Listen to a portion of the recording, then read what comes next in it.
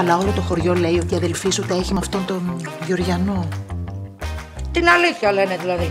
Πόπι, θέλω να σου πω κάτι εδώ και καιρό. Ε, τι περιμένεις, πες το. Θέλω να σε παντρευτώ. Τα παιδιά της το ξέρουν. Να κάνω εγώ την κόμενά σου; Φύγη μου, για δυο-τρεις μέρες όσο θα είμαστε στο χωριό. Μετά πάλι φίλοι. Απαπαπαπαπα. Είχατε καλό ταξίδι; Μια χαρά. Χάλια. Και είστε φίλος του Γρηγόρη; Αδερφικός.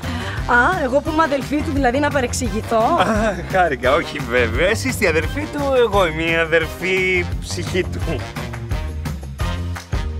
Ε, δεν μου είπατε κυρία Πόπη, πότε με το καλό γάμος; Το Σάββατο. Όσοι είμαστε σε αυτό το τραπέζι, κανένας δεν θέλει αυτό το γάμο. Αυτά τα λούδια είναι για την κυρία. Μωρό μου. Αγάπη μου. Γιατί την είπε μωρό του; Γιατί τον είπε αγάπη της; Μόρα και του θανατά να είμαστε όλοι αυτοί, το γάμο θα τον κάνει. Ναι, αλλά αν πέσει αυτός του θανατά; Κάτσε, κάτσε, κάτσε, κάτσε, κάτσε.